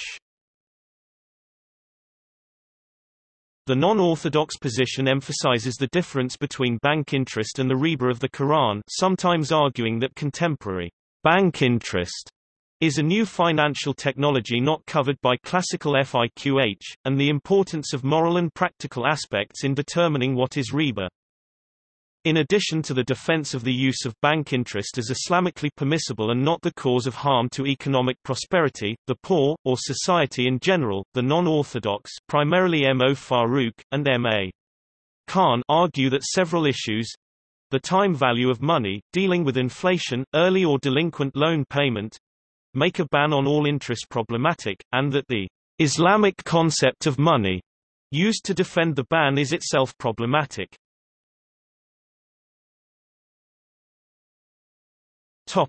Government-affiliated ulama A number of the high-level jurists affiliated in some way with Muslim-majority governments have opposed a ban on all interest. Egyptian President Anwar Sadat obtained a fatwa from the Sheikh of Al-Azhar ruled that interest-bearing treasury bonds were consistent with Islamic law. More recently the Mufti of Egypt, Dr. Muhammad Saeed Tantawi, issued several fatwa permitting bank interest in 1991. In 1997 Sheikh Nasr Farid Wasil Grand Mufti of Dar al-Ifta al-Masriya at the time also declared bank interest permissible provided the money was invested in halal avenues. There is no such thing as an Islamic or non-Islamic bank. So let us stop this controversy about bank interest. Dr. Abd al-Munam al-Nimr, an ex-minister of AWQAF in Egypt, publicly stated that banking interest cannot be considered riba. This has been explained as in keeping with the tendency for rulers to get the fatwas they want on key policy issues from official ulama, whose task it is to legitimize rulers' policies. Historians note the practice is not new and that jurists legitimized interest for AWQAF religious endowments during the late period of the Ottoman rule as mentioned above.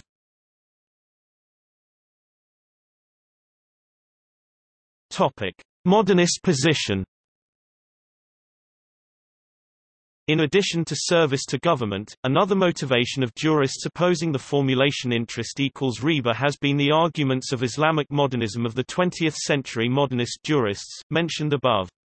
Other modernists interpreters of riba include those on the India-Pakistan subcontinent including, Jafar Shah Phulwari, Tamanna Imadi, Rafiullah Shahab, Yaqub Shah, Abdul Ghafur Muslim, Syed Ahmad, Akdaz Ali Kazmi, and Abdullah Saeed. Islamic modernists tend to emphasize the moral aspect of the prohibition of riba, and argue that the rationale for this prohibition as formulated in Al-Quran was injustice and hardship. Modernists believe pre-Islamic lending practices in Makkah constituted riba and are much different from and more problematic than contemporary bank lending, which do not involve riba, according to sources such as M.A. Khan and the Encyclopedia of Islam and the Muslim World. Makkan lending riba and jahiliya involved high interest rates charged by rich money lenders to poor customers who borrowed for purposes of consumption, and led to the accumulation of large debts and often financial slavery. In contrast, most money loaned in contemporary society is for commercial purposes and investment, transacted between sophisticated parties, offering, paying interest rates determined and kept low by a competitive and regulated market, most of these features not in existence when the Quran was revealed. Furthermore contemporary bankruptcy laws protect borrowers against the horrors once produced by riba. They also advance the economic argument that the goal of eradicating interest is both misguided and unfeasible, because interest is indispensable to any complex economy. Harm to borrow Islamic modernist scholars such as Fazlur Rahman Malik, Muhammad Asad, Saeed al-Najjar, Saeed Tantawi, differ from the orthodox interpreters in arguing that interest is not riba unless it involves exploitation of the needy. They differentiate between various forms of interest charges advocating the lawfulness of some and rejecting others. Abd al-Munam al-Nimr also argues that riba must involve harm to the debtor. In his fatwa permitting bank interest and declaring it non-riba, Muhammad Saeed Tantawi argued it makes little sense to suggest that modest saving account holders are exploiting sophisticated multi-billion dollar banks that pay them the interest on their accounts. Fixed return or determination of the profit in advance is done for the sake of the owner of the capital that is the depositor and is done to prevent a dispute between him and the bank. Rather than to exploit, lawyer and Islamic scholar Kamal A. Faruqi, complained that much time and energy was spent in Pakistan on learned discussions on riba and doubtful distinctions between interest and guaranteed profits.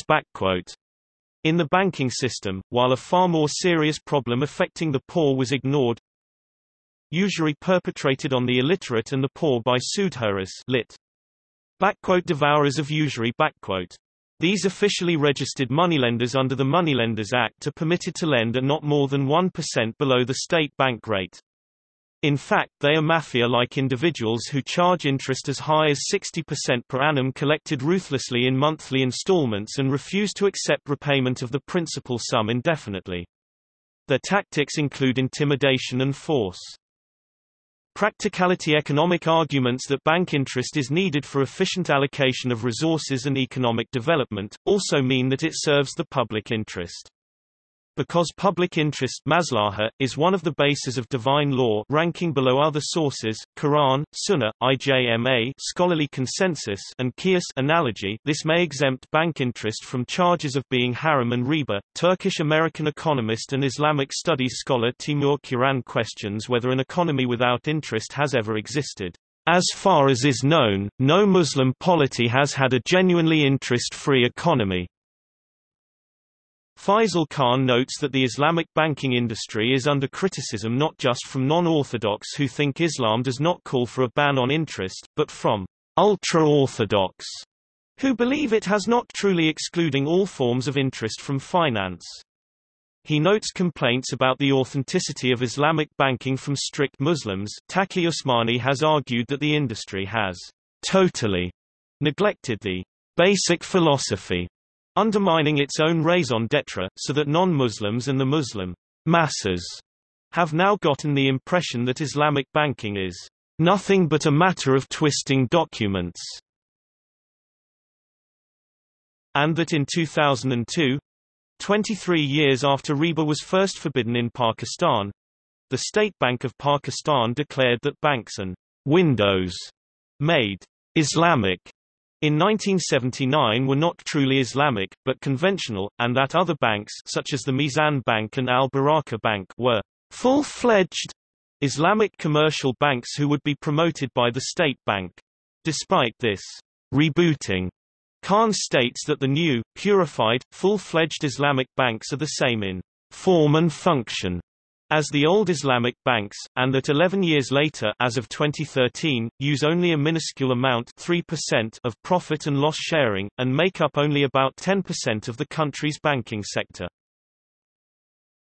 Topic reply to modernists Most of these arguments have been criticized by Islamic revivalist writers, including Siddiqui, Zakir, Khan and Mirakhor and Chapra, and especially by Taqi Usmani's Judgment on Interest delivered in the Supreme Court of Pakistan. Taqi Usmani argues that commercial, industrial and agricultural as opposed to consumption loans could not have been unknown to Arabs in the era of Muhammad since a hadith mention large loans and large-scale caravans used by Arab traders. Arabs of Muhammad's era also had constant business relations with the adjacent Byzantine province of Syria Arabs used its silver dirhams and gold dinars for currency where interest-bearing loans were so widespread that a separate law was enforced to fix their rate of interest. He also points out that there are a number of references to all riba being forbidden in a hadith, and all excess over principal being riba, but no mention of some smaller amount of interest being permissible.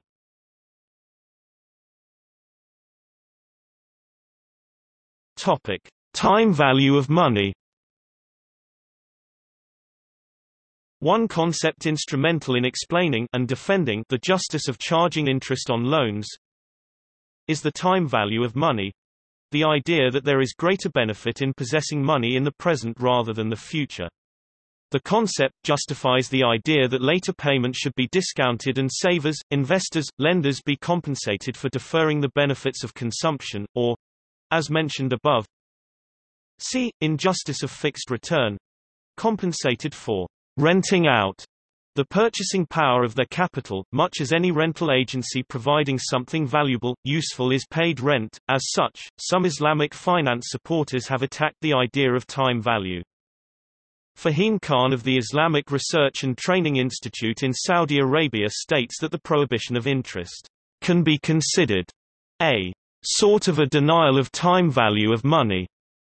Maududi has called the difference between the psychological values of the present and the future nothing but an illusion, and disproven by the fact that few people spend all their wealth on present pleasure and enjoyment. Taqi Usmani has declared unequivocally that, in Sharia there is no concept of time value of money. Irfan argues that the value of money diminishes very little over time because some consumption such as eating can only be done over time. Furthermore, discounting for time may lead to negative outcomes such as unsustainable agricultural production with planting and grazing that causes desertification and erosion, since these bad outcomes occur in the discounted future. However, Islamic banking also calls for rewarding delayed gratification in the form of return on investment, and the sale of goods on credit endorsed by early jurists such as Muhammad al-Shaybani. Most orthodox Islamic scholars and economists have taken a middle path, insisting that a rate of discount of money over time is an invalid concept if the rate is interest on a loan, but valid if the rate is return on capital from murabaha or other Islamic contracts. Critic Farooq complains that this rationalization is contradictory, and amounts to denying time value in theory in theory while embracing it in practice, and that the accepting of the theory in practice explains the large and successful move of non-Islamic Western banks into Islamic banking.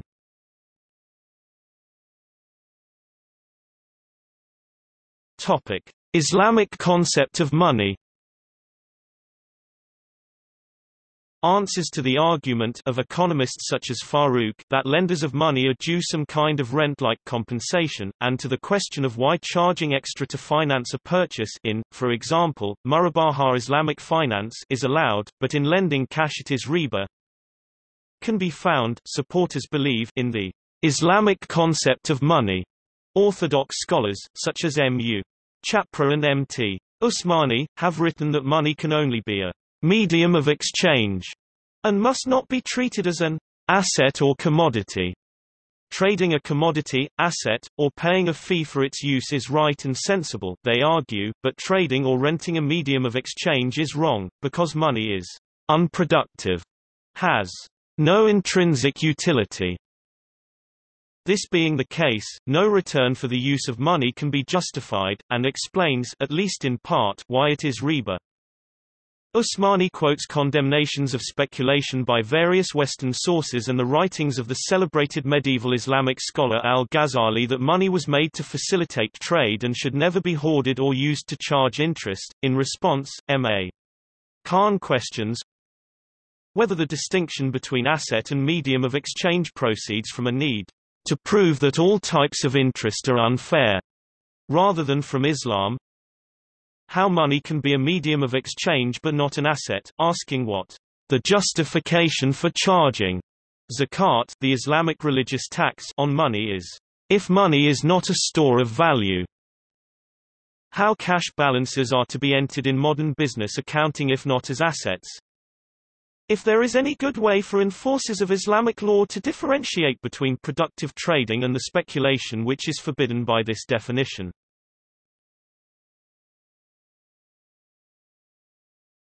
Topic: Early payment of debt.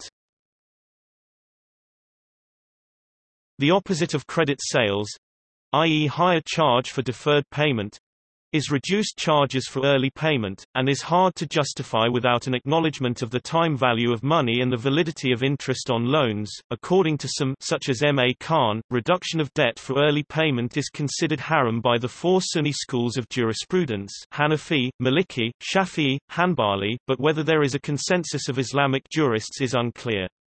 According to Rida Sadullah, such reductions have been permitted by some companions of the Prophet and some of their followers.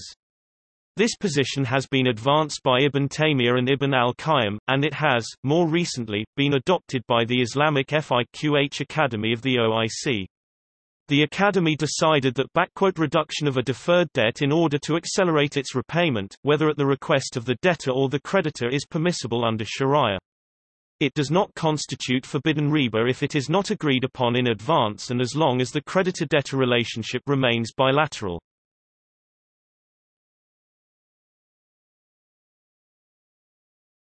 Topic: Inflation. Whether or not compensation to lenders for the erosion of the value of the funds from inflation is allowed and how to provide that compensation in a way that is not considered riba, has also been called a problem vexing Islamic scholars, since finance for businesses will not be forthcoming if a lender loses money by lending. Volume 1 of Investment Laws in Muslim Countries Handbook, states, "...an interest rate that did not exceed the rate of inflation was not riba according to classical Islamic jurists." Suggestions to solve the problem include indexing loans or denominating loans in terms of a commodity such as gold, and doing further research to find an answer. However, many scholars believe indexing is a type of riba and that it encourages inflation. IslamQA.info merely states, Yes, it is haram to pay interest on loans even if that is because of inflation. The scholars are agreed that if it is stipulated that a loan be repaid with something extra, that is riba usury, which is forbidden by Allah and His Messenger. Abu Umar Faruq Ahmad and M. Kabir Hassan state that Quranic injunctions against riba, and must be accepted as they stand. Using interest to neutralize inflation would be tantamount to using a bigger evil interest to fight a smaller one inflation.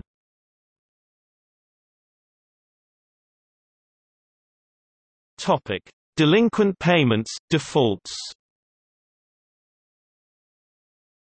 While in conventional finance late payments, delinquent loans are discouraged by interest that accumulates while the loan is delinquent, the price for credit payments can never be increased no matter how late the lender buyer is in repaying according to Usmani because late fees are payment against money which violates the principle that credit payments must be against commodity and not against money Prohibition against late fees has led to the control and management of delinquent accounts becoming one of the vexing problems in Islamic finance, according to M.A. Khan. According to Ibrahim Warde, Islamic banks face a serious problem with late payments, not to speak of outright defaults, since some people take advantage of every dilatory legal and regal and religious device. In most Islamic countries, various forms of penalties and late fees have been established, only to be outlawed or considered unenforceable. Late fees in particular have been assimilated to riba. As a result, debtors know that they can pay Islamic banks last since doing so involves no cost. Warde also complains that Many businessmen who had borrowed large amounts of money over long periods of time seized the opportunity of Islamicization to do away with accumulated interest of their debt, by repaying only the principal usually a puny sum when years of double-digit inflation were taken into consideration.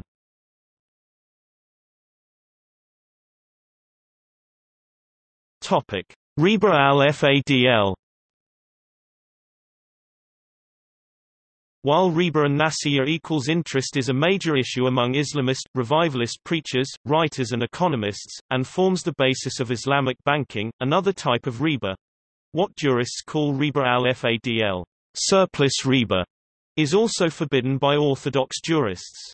Riba al-Fadl does not involve paying back over time but instead the trading of different quantities of the same commodity gold, silver, wheat, barley, date, or salt, typically because the quality of the smaller quantity is superior.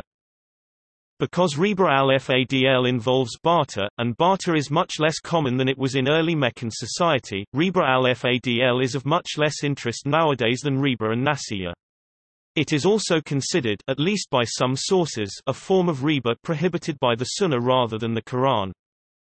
Taqi Usmani states that riba al-Fadl was developed by Muhammad and so was not part of pre-Islamic Jahiliyyah.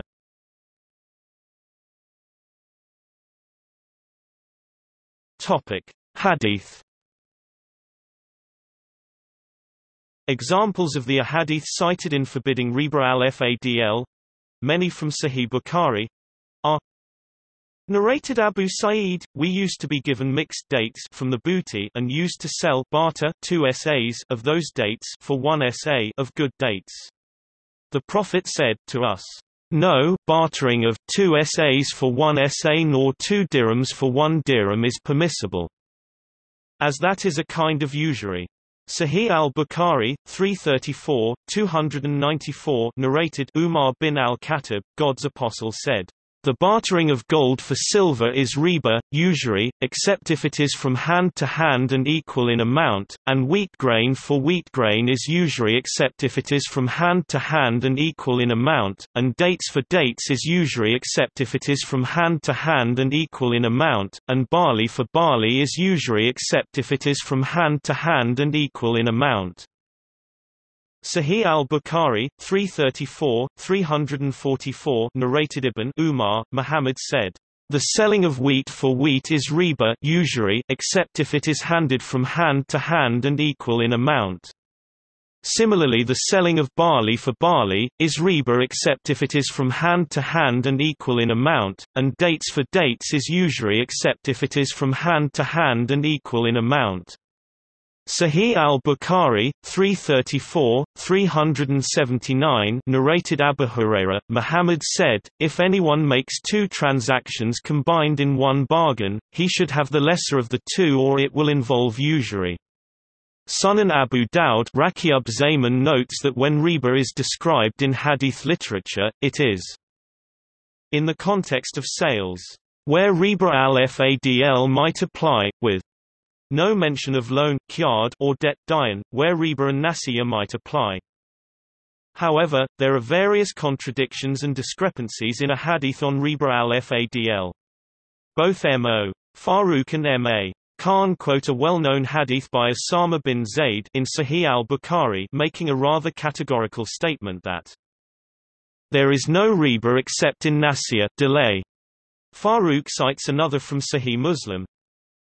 There is no riba in hand-to-hand -hand spot transactions. Farooq quotes another scholar Iqbal Ahmad Khan Suhail, who believes the two ahadith demolish the self-invented castle of riba al-fadl.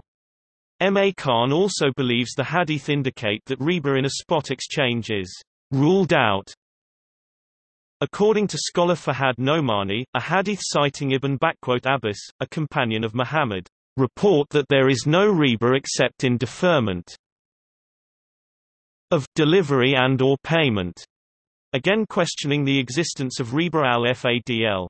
Ibn Rushd also reportedly agreed that according to Ibn Abba, Muhammad did not accept riba al-fadl because there was no riba except in credit. But according to Mahmud A. El Gamal, Ibn Rushd later reversed his position. There are also contradictory ahadith on trading silver for gold, one stating, The bartering of gold for silver is riba except if it is from hand to hand and equal in amount. While others say, the Prophet allowed us to sell gold for silver and vice versa as we wished.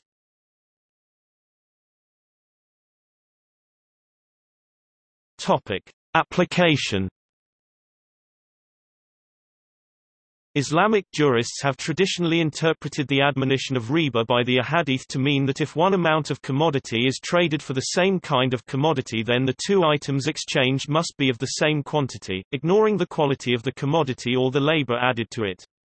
Although there is some question of why anyone would ever exchange equal quantities of the same quality commodity, like for like, that the ahadith seems to call for, for example 100 kg of wheat for 100 kg of wheat.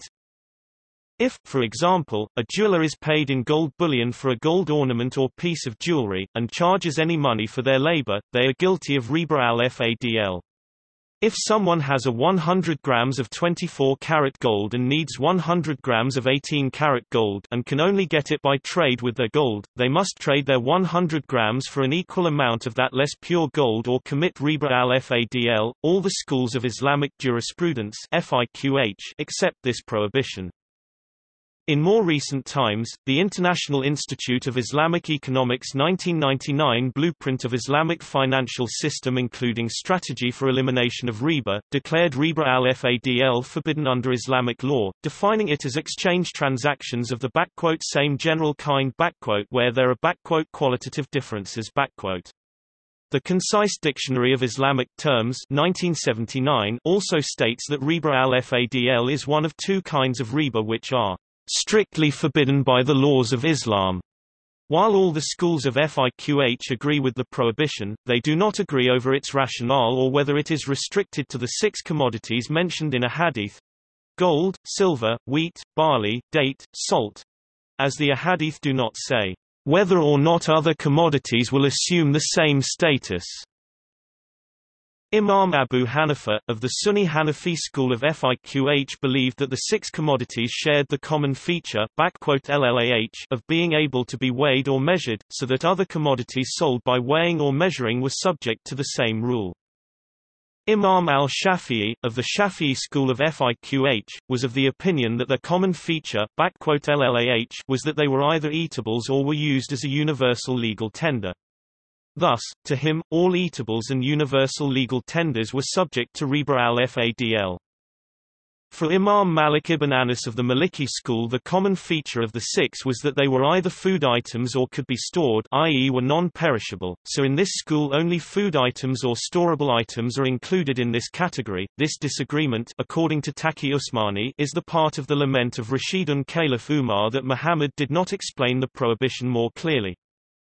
Criticism Critics of this interpretation include activist Khalid Zahir and economists M.A. Khan and Muhammad Omar Farooq.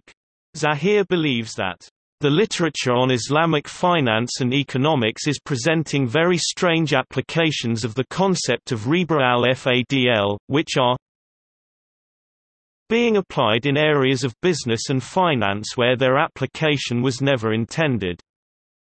He notes that some scholars openly admit they do not understand the logic of the ban on riba al-fadl, prohibition of riba al-fadl specifically in barter of six specified commodities is mentioned only in hadith. M. A. Khan and Farooq find the reference to riba al-fadl questionable as it makes no sense. Khan asks why anyone would ever trade equal quantities of the same kind of commodity, like for like. For example 100 kilograms of wheat for 100 kilograms of wheat, in a riba-free transaction called for by quoted a hadith. Or how divine law could prescribe that a jeweler who has spent his time and effort to convert gold into jewelry and is taking gold as payment not be compensated. M.A. Khan also notes that the authors of the IIIE blueprint have no objection to traders selling higher purity, quality commodity for cash and using the proceeds to buying more less purity, quality commodity, and wonders what would be accomplished by such an ineffective and roundabout method of handling a simple exchange transaction. Abdullah Saeed complains that the legal cause or feature used by the schools of Islamic jurisprudence to determine what commodities were subject to riba i.e. being able to be measured, eaten or used as legal tender ignores reasons why a sale should be prohibited hikmah, issues such as the circumstances of the transaction, the parties thereto, or the importance of the commodity to the survival of society. Mahmud El-Gamal notes that orthodox interpretation or at least orthodox Hanafi of riba the basis of what he attacks as sharia arbitrage distinguishes between fungible and non-fungible items. Thus, allegedly, fungible gold may not be traded one ounce for two, but trading one non-fungible item such as diamonds for two is permitted, whatever the item's market value. Thus, selling a diamond worth $10,000 today for a deferred price of $20,000 tomorrow. And immediately selling the diamond for $10,000 in cash is halal legal under orthodox rules of riba al-fadl, notwithstanding the fact that it would give the financier an effective rate of 100% interest. El-Gamal describes this as avoiding riba in form, while being usurious in substance.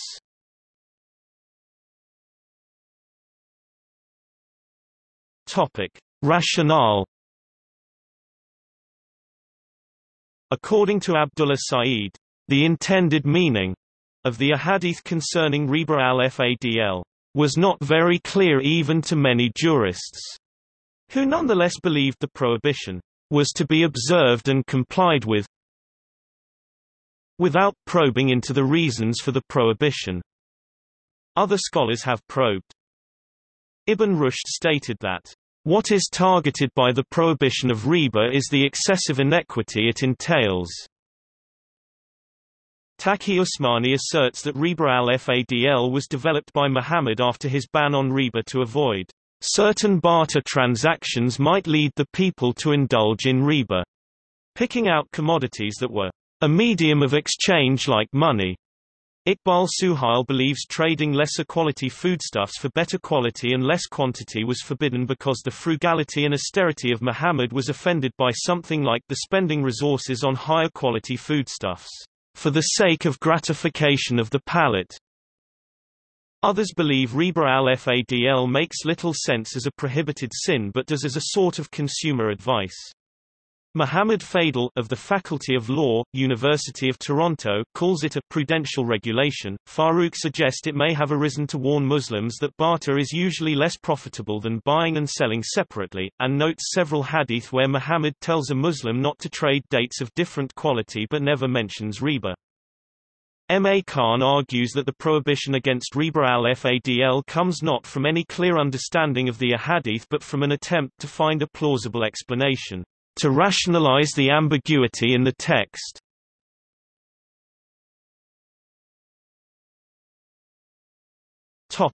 See also. Islamic banking and finance. Loans and interest in Judaism.